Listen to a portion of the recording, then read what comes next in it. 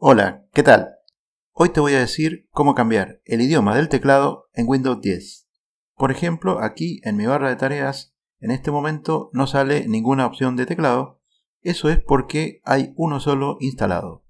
Para saber qué teclado tenés en Windows y cómo cambiarlo, tenés que ir a Inicio, haces clic ahí, después vas a Configuración y en Configuración vas a Hora e Idioma, haces clic ahí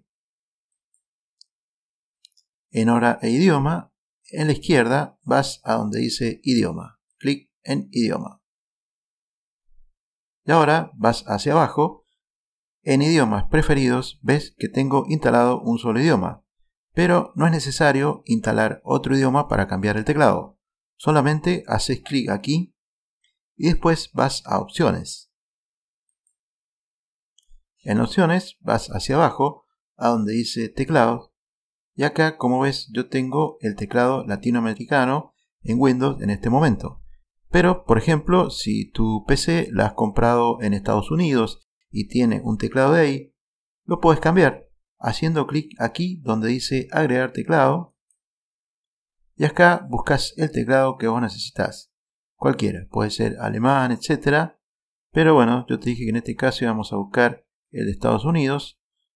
Porque bueno, muchas PCs se compran ahí o vienen desde ahí. Entonces haces clic aquí donde dice Estados Unidos y listo, como ves acá abajo ya se ha agregado el teclado. Y así como agregué ese teclado, puedes agregar cualquier otro teclado. Voy a cerrar acá. Ahora en la barra de tarea, acá donde dice está el teclado, si haces clic ahí, ves que están las dos opciones. Entonces ahora tendría la distribución del teclado latinoamericano. Si haces clic aquí, vas a tener la distribución de Estados Unidos si ese es el teclado que trae tu PC. Cuando tenés varias opciones de teclado, por ejemplo yo ahora tengo dos, puedes cambiarlo también tecleando Windows más la barra espaciadora y ahí cambias de teclado. Entonces tenés dos formas, desde aquí, desde la barra de tareas, o con Windows y la barra espaciadora.